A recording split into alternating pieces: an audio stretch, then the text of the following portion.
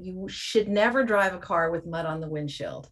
And in the same vein, you should never try and run a company with wind, mud on the windshield. And the way to get rid of that mud on the windshield is data and analytics. It clears it away. It gives you the transparency, the vision you need so you can make decisions, you can move with greater velocity. You can actually even take more risk because it's intelligent risk.